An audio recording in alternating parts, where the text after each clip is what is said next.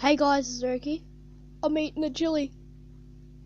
This may not look like a very hot chili, but it is hottest chili in the world. I'm gonna eat it.